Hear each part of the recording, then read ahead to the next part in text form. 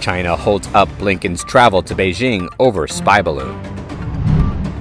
U.S. sanctions two Chinese chemical firms for producing illicit fentanyl intended for Americans. U.S. climate chief China should help cover costs of global warming. Beijing releases video describing all out attack on Taiwan, only making the U.S. more determined. China is now rejecting Secretary of State Antony Blinken from paying a visit to its capital even as the U.S. is ready to resume the trip, which was canceled earlier this year over the presence of a Chinese spy balloon. According to the Financial Times, Beijing is unwilling to reinstate the key diplomatic trip over the incoming FBI report about the balloon, with four people familiar with the talks saying it is worried about how the Biden administration would respond. China is anxious that the FBI report might be unveiled during Blinken's Blinken's visit to China, which could include physical evidence about the controversial balloon. It has insisted that the balloon happened to be in the continent only by chance.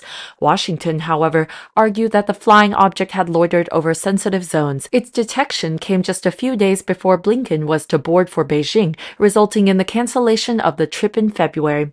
Three people said China's foreign minister Qin Gang brought up the issue with the U.S. attendees at the China Development Forum in Beijing in March. Qin reportedly said that FBI investigation was another instance of the issues that have hindered the stabilization of U.S. China relations. The comment ignored how the crisis began in the presence of the Chinese object in the first place.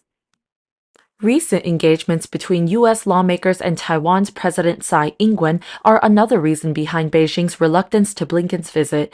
The most recent is the meeting between House Speaker Kevin McCarthy and Tsai, which Beijing responded to with three days of military exercises and combat readiness patrols around the island. Blinken's drop-in was meant to be an important opportunity for both governments to interact on the range of issues such as commerce, human rights, climate change, and regional security. Dennis Wilder a former Asia advisor to George W. Bush, commented, In many ways, we are more eager for this visit than they are. They don't have the incentive to make this visit happen quickly. In that sense, for the Chinese, the downsides of waiting are not great the U.S. imposed sanctions on two entities based in China, accusing them of providing precursor chemicals to drug cartels in Mexico for the illicit fentanyl production targeting the U.S. market. The Treasury Department announced the sanctions on China-based chemical firms Wuhan Shuokang Biological Technology and Suzhou Xiaoli Pharmatech. It also designated five people in the inducement, including four Chinese nationals. The Treasury's Undersecretary for Terrorism and Financial Intelligence, Brian Nelson, said illicit fentanyl is responsible for the deaths of tens of thousands of Americans each year. Treasury, as part of the whole of government effort to respond to this crisis, will continue to vigorously rigorously apply our tools to prevent the transfer or precursor chemicals and machinery necessary to produce this drug. Earlier this month, a federal grand jury in the U.S. District Court for the Southern District of New York indicted three of the four Chinese nationals on conspiracy charges, including fentanyl importation and money laundering. As a result of the sanctions, all assets of the designated individuals and entities must be blocked.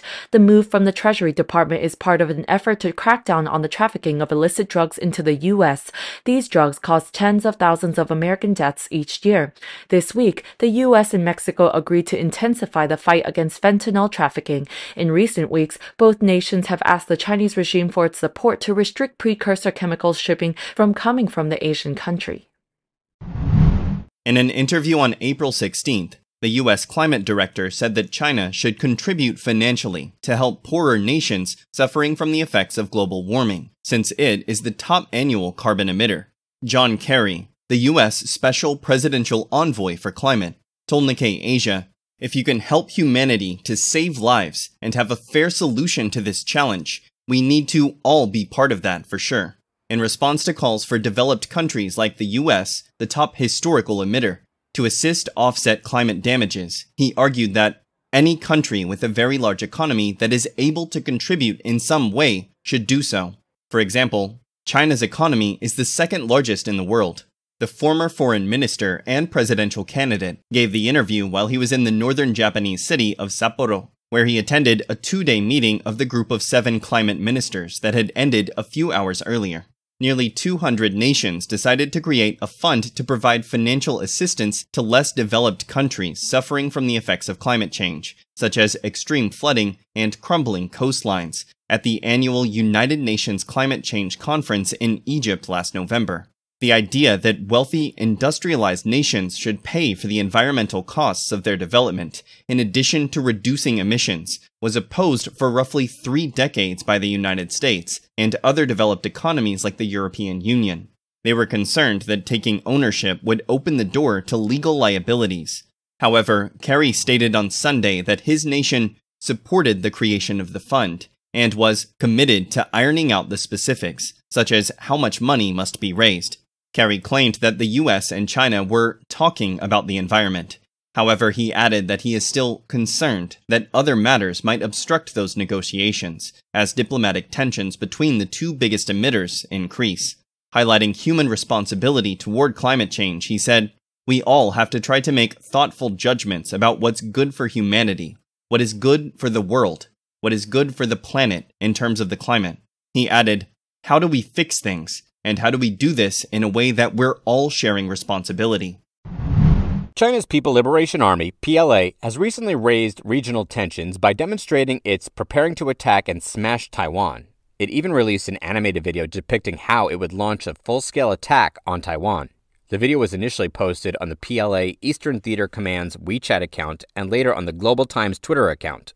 It shows a barrage of missiles launched from China's coast and the Taiwan Strait. The main tactic depicted in the video is indiscriminate bombing, including a burning strategy designed to destroy Taiwan's defenses. On April 10th, the PLA completed a three day large scale combat readiness patrol, a military exercise simulating a complete blockade of Taiwan. Military experts said these exercises serve as a bold threat and an opportunity for the PLA to practice their tactics for blocking Taiwan's sea and air traffic.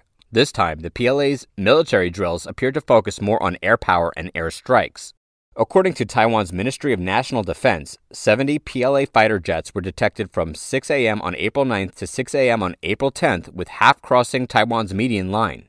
On April 7th and 8th, eight PLA warships and 71 fighter jets and armed jets were spotted near Taiwan. On April 10th, the PLA announced its aircraft carrier Shandong had participated in a drill simulating a blockade of Taiwan for the first time. However, the U.S. met the Chinese Communist Party CCP's intimidation and fierce threat with a strong counterattack. It aggressively encircled Taiwan, and the U.S. 7th Fleet announced its guided missile destroyer, USS Milius, sailed near Mischief Reef to the east of the Changsha Islands and indicated that it was a freedom of navigation operation. Previously, the PLA built and militarized an artificial island on a reef in the South China Sea. The CCP claims vast swaths of the South China Sea and the waters, although the U.S. disputes those claims. The U.S. Navy 7th Fleet said in a statement unlawful and sweeping maritime claims in the South China Sea pose a serious threat to the freedom of the seas, including the freedoms of navigation and overflight, free trade and unimpeded commerce, and freedom of economic opportunity for South China Sea littoral nations. It continued by engaging in normal operations within 12 nautical miles of Mischief Reef. The United States demonstrated that vessels can lawfully exercise high seas freedoms in those areas. And the United States upholds freedom of navigation for all nations and a principle. As long as some countries continue to claim and assert limits on rights that exceed their authority under the international law, the United States will continue to defend the rights and freedoms of the sea guaranteed to all. CCP threat of force only firms up our resolve. On April 10th, Mike Gallagher, chairman of the House Select Committee on China, told AP News he plans to lead his committee to shore up the Taiwan government's defenses, encouraging U.S. Congress to expedite military aid to Taiwan. Regarding the CCP's growing threat of force against Taiwan, House Foreign Affairs Committee Chairman Michael McCaul told Fox News, These are intimidation tactics and saber rattling, in my judgment, only firm up our resolve against the Chinese Communist Party. It has no deterrent effect on us. In fact, I think it galvanizes the United States' support for Taiwan. U.S. House Speaker Kevin McCarthy recently met with Taiwanese President Tsing Ing wen. Soon after, Michael McCaul led a bipartisan U.S. congressional delegation to visit Taiwan. McCaul revealed during a closed press conference that the group had discussed weapon sales, stressed that the U.S. backs deterrence policies. He noted that combining training, military exercises, and intelligence sharing remain central to U.S. efforts to support Taiwan.